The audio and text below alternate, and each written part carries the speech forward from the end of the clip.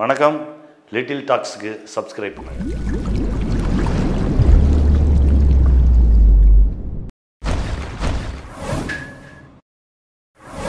Comedy movies எடுக்கிறதுல இருக்க ஈஸியான அண்ட் கஷ்டமான விஷயம் என்ன சொல்லுவீங்க? ஈஸியான விஷயம் வந்து எழுதி முடிச்சதுக்கப்புறம் எக்ஸிக்யூட் பண்ணுறது கஷ்டமான விஷயம் வந்து எழுதுறது. இப்போ மிஸ்டர் லோக்கலில் bar scenes and bottle scenes வந்து இல்லை ஒன்று முடிவு பண்ணியாச்சு. ஸோ இது வந்து அடுத்தடுத்த ராஜேஷ் படங்களை ஃபாலோ ஆகுமா? ஸோ இந்த படத்தில் விட்டதே கை ஒரு மாதிரி நடிக்கிற மாதிரி இல்லை அப்படி இல்லை. இந்த படத்தில் தேவைப்படலை. ஏன்னா சிவகார்த்திகேயன் ஃபேமிலி ஆடியன்ஸ் இருக்காங்க. எனக்கும் வந்து அது வேணான்னு தோணுச்சு. இந்த இந்த கதைக்கும் தேவைப்படலை. பட் மோஸ்ட்லி இந்த மாதிரி விஷயங்களை அவாய்ட் பண்ணணும்னு நான் நினைக்கிறேன். நம்ம கான்சியஸாக நம்ம பண்ணலாம். கொஞ்சம் ரெஸ்பான்சிபிளாக இருக்கலாம். இந்த மாதிரி விஷயங்களை நம்ம வந்து இது இல்லாமலே நம்ம ஹியூமர் பண்ணலாம் என்டர்டெயின் பண்ண ட்ரை பண்ணலாம் அப்படின்னு ஒரு விஷயம் எடுத்திருக்கேன். பட் அதுக்கு நான் மேக்ஸிமம் ட்ரை பண்ணலான்னு இருக்கேன்.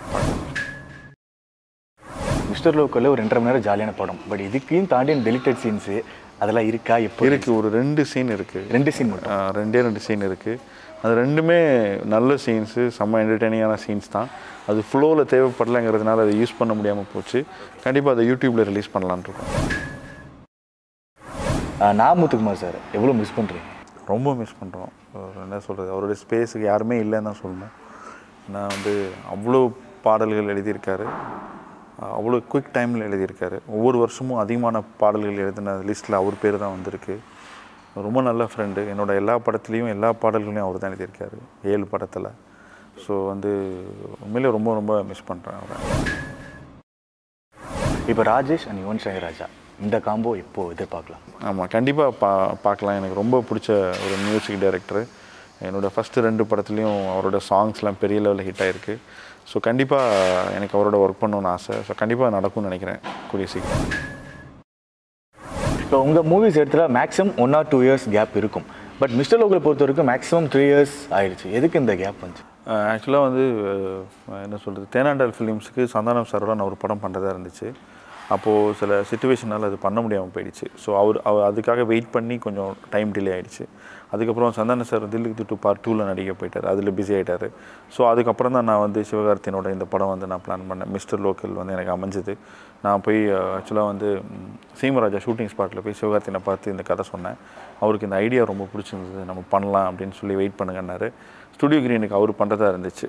ஸோ அப்போ அவர் சொன்னார் இந்த மாதிரி ஞானவேல் சாருக்கு பண்ணலான்னு சொன்னார். சரி ஓகேன்னு சொல்லி அப்படி தான் இந்த ப்ராஜெக்ட் அமைஞ்சது. ஸோ அந்த ஒரு டிலே தான். ஒரு படம் பா வேறு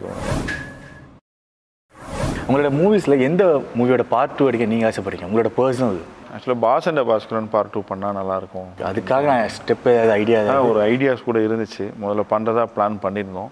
பார்க்கலாம். முடிஞ்சால் பண்ணலாம். மிஸ்டர் லோக்கல் பொறுத்த வரைக்கும் மறக்க முடியாத சீக்வன்ஸ்னு ஏதாவது இருக்கா? நிறைய சீக்வன்ஸ் இருக்குது ஷூட் பண்ணும்போதே வந்து நிறைய சீக்வன்ஸ் மெயினாக அப்ராட்டில் ஷூட் பண்ணோம் இந்த படம். ஒரு பதினஞ்சு நாள் பண்ணோம். சாங்கெல்லாம் தாண்டி சீன்ஸ்லாம் வந்து ஷூட் பண்ணோம். ஸோ அப்போ வந்து ஆல்மோஸ்ட் ஒரு ஒரு ஒன் டிகிரி தான் இருக்கும் டெம்பரேச்சர் ஸோ நாங்கள் ஜெர்கின் ஜாக்கெட்லாம் போட்டிருப்போம். பட் சிவா நயன்தாரா ரெண்டு பேருமே அதெல்லாம் போட்டால் நல்லா இருக்காது. ஐ மீன் ஸோ அந்த மாதிரிலாம் போட்டு டான்ஸ்லாம் ஆனால் நல்லா இருக்காது. ஸோ அதனால் அவங்கெல்லாம் எல்லாமே பண்ணாங்க.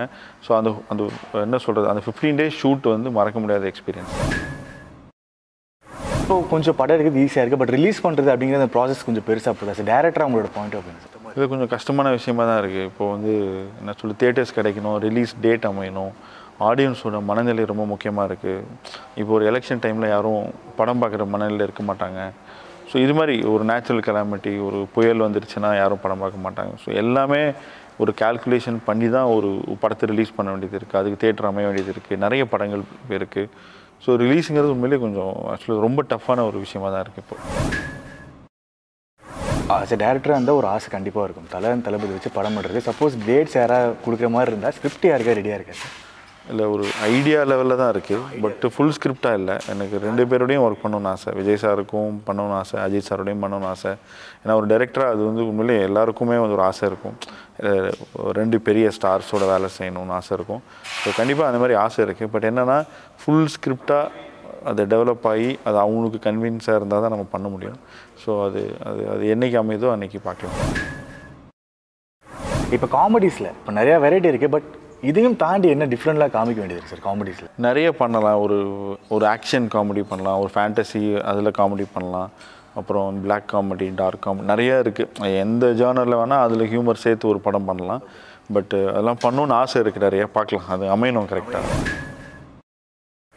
மொத்தம் எட்டு ஒன்பது சாங் இருக்குன்னு ஹிப்ஹாப் தமிழ சொன்னாரு. ஒரு நாலு சாங் இதுல வச்சாச்சு. மீதி இருக்க சாங்ஸ்லாம் ஒரு ஏழு சாங் இருக்குது ஒரு நாலு அஞ்சு சாங் இதில் வச்சிடும் ரெண்டு சாங் பேலன்ஸ் இருக்குது அதை நான் அவர்கிட்ட சொல்லியிருக்கேன். அந்த காம்போ அமைஞ்சா அப்படி அதை வச்சிருங்க. அது வேறு எதுக்காவது யூஸ் பண்ணலான்னு வச்சுருக்கேன்.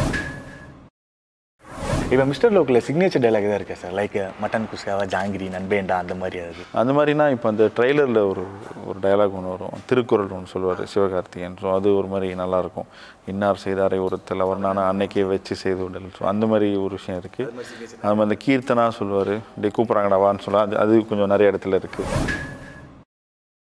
இப்போ மிஸ்டர் லோக்கல் பொறுத்த வரைக்கும் நிறைய ஸ்டார்ஸ் அண்ட் காமெடி நிறைய பேர் இருக்காங்க. ஸோ ஆல்சோ ஈஸியாக இருந்திருக்கும்.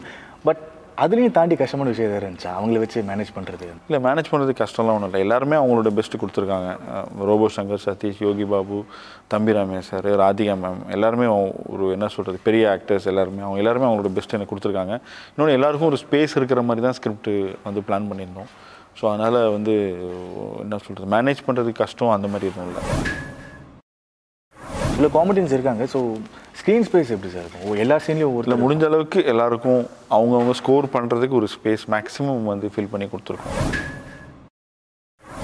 ஸோ உங்கள் ரியல் லைஃப்பில் நடந்த இன்சிடென்ட் ஏதாவது உங்கள் படங்களில் வச்சுருக்கீங்களா? இந்த படத்தில் அந்த மாதிரி எதுவும் இல்லை. இந்த மிஸ்டர் லோக்கல் அந்த மாதிரி எதுவும் இல்லை. மற்ற படங்கள் ஏதாவது? பாஸ் அண்ட் பாஸ்கரனில் இருந்திருக்காங்க அங்கே. ஆமாம் வேலை இல்லாமல் சுற்றுறது அப்புறம் வேலை கிடைச்சது பொறுப்பானது அதெல்லாம் இருக்குது நீங்கள் ரசித்து நீங்கள் கேட்ட நீங்கள் பார்த்த உங்களை நீங்கள் ரசித்த ரூம் இருங்க இந்த படத்துக்கு ரீஷூட் பண்ணுறோம் அப்படின்னு சொல்லிட்டு ஒரு ரூமர் வந்துச்சு. அது ரீஷூட் கிடையாது. அது வந்து ஒரு பேட்ச் ஒர்க் ஷூட்டிங் ஒரு ஒன் டே பேலன்ஸ் இருந்துச்சு. அது ரொம்ப ரீஷூட்டுன்னு சொல்லி அது பெருசாக்கிட்டாங்க அது. சரி அது எப்படி எங்கேருந்து இது வந்துச்சுன்னு சொல்லி அதை யோசிச்சுட்டு இருந்தோம்.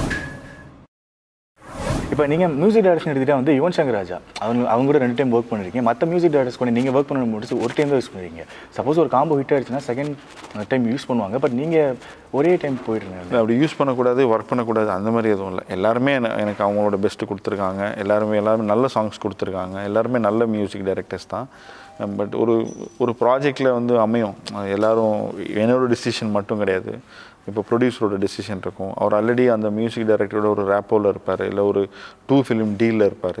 ஸோ அப்போ நான் வந்து பண்ணி ஆகணும். அந்த மாதிரிலாம் இருக்கும். ஸோ அது மாதிரி பார்க்கும்போது எல்லாரோடையும் ஒர்க் பண்ணுற ஒரு ஆப்பர்ச்சுனிட்டி எனக்கு கிடச்சிது. எல்லா மியூசிக் டைரக்டர்ஸோடையும் நான் ஒர்க் பண்ணியிருக்கேன். இந்த படத்தில் ஹிப்ஹாப் ஆதியோட ஒர்க் பண்ணியிருக்கேன் ஃபஸ்ட் டைமாக ஸோ யங்ஸ்டர்ஸ்க்குலாம் ரொம்ப பிடிச்ச ஒரு ஒரு மியூசிக் டைரக்டர் அவர். ஸோ அவரோட பெஸ்ட் வந்து இந்த படத்துக்கு கொடுத்துருக்காரு. இப்போ எஸ்கே நயன்தாரா? அது கெமிஸ்ட்ரி எவ்வளோ சார் இருக்குது பிகாஸ் வந்து ஃபைட்டு மாதிரி இப்போ பார்த்துட்டு இருக்கோம். ட்ரைலர்லையும் சரி நீங்கள் சொல்கிற விதத்துலையும் சரி ஃபைட் மாதிரி போட்டு ரொமான்ஸ் எவ்வளோ இருக்குது சார் ஆஹ் இருக்கு. ரொமான்ஸும் இருக்குது படத்தில். பட் இந்த ஃபைட்டுக்குள்ளேயே ஒரு கெமிஸ்ட்ரி இருக்குது ரெண்டு பேருக்கும். Fight-க்குள்ளே ஃபைட்டுக்குள்ளேயே ரெண்டு பேரும் சண்டை போட்டுக்கிறதுலே ஒரு கெமிஸ்ட்ரி நீ பெரிய ஆளா நான் பெரிய ஆளான்ட்டு ரெண்டு பேரும் விட மாட்டாங்க. டஃப்பாக ஃபைட் பண்ணிட்டே இருக்காங்க. ஸோ அதுக்குள்ளேயே ஒரு கெமிஸ்ட்ரி இருக்குது படத்தில்.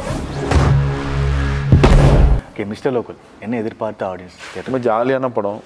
ஒரு ஃபன் ஃபிலிம் ஒரு என்டர்டெயின்மெண்ட்டு ஒரு family entertainer U certificate Radhika madam இருக்காங்க சிவகார்த்திகேயன் நயன்தாரா சதீஷ் யோகி பாபு ரோபோ சங்கர் எல்லாருமே இருக்காங்க. ஜாலியாக இருக்கும் படம். நீங்கள் ஃபேமிலியோட குழந்தைங்களோட தேட்டரில் போய் வந்தீங்கன்னா அந்த ரெண்டரை மணி நேரம் செம்ம ஜாலியாக இருக்கும். அந்த மாதிரி ஒரு படம் இது.